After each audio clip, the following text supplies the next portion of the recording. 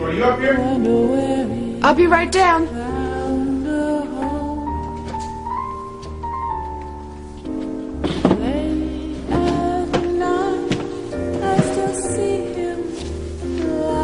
Hey, honey, what's going on? Nothing? So who's that singing?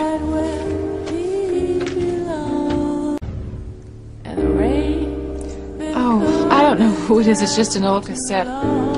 Well, anyway, the hospital called and some girl's about to have her baby and they need your help right away. Oh, right. I'm on call. Honey, are you sure you're okay? You want me to give you a ride to the hospital?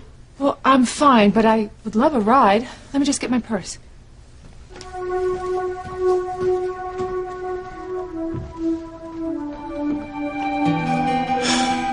Eve, what is going on?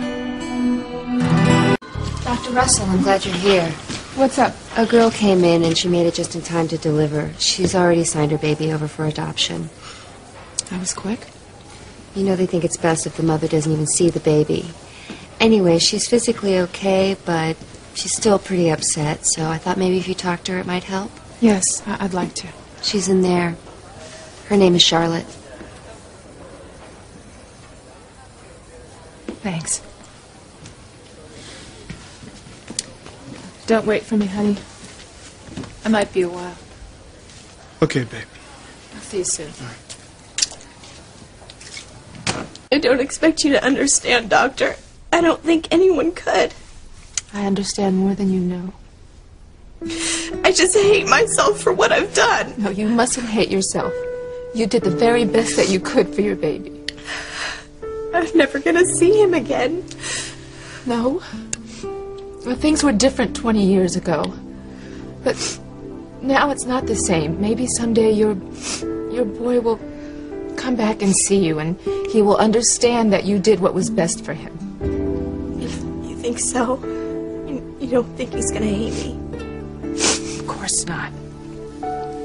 I'm gonna go get you something to help you sleep.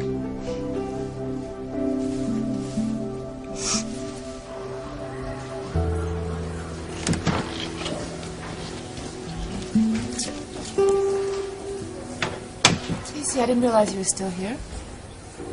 I still see him. So who's that singing?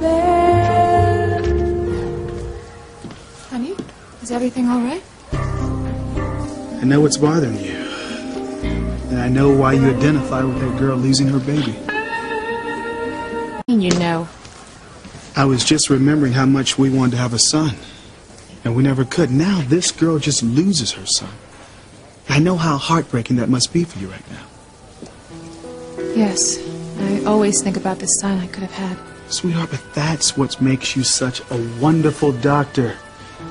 You just don't treat their bodies, you help heal their souls. Dr. Russell? I gotta go. Sweetheart, you go and take care of your wife. I'll see you later.